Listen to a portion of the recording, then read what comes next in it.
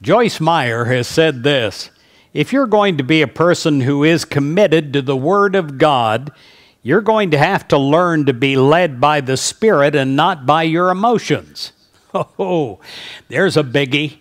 So many times I have been led by my emotions, and so have you. So has every human being that is alive today or in the past. In Hebrews 10, verse 38, it says, The just shall live by faith. Hebrews 10:38 teaches us that we should live by faith.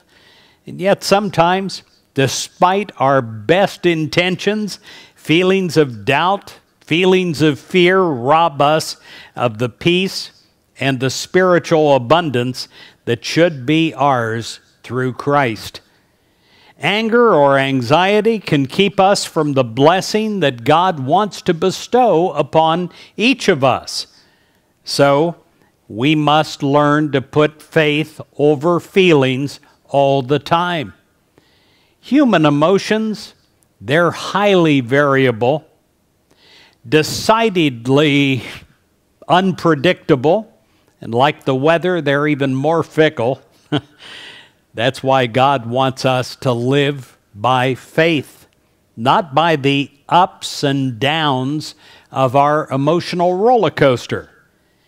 Sometime during this day, you'll probably be gripped by a negative emotion, and maybe it will be strong.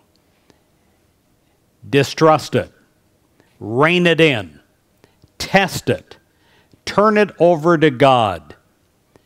Our emotions change, but God does not. So trust God completely and let your feelings slowly fade to be replaced by faith. They will be replaced by faith. They will soon be diluted under the power of God, the power of faith.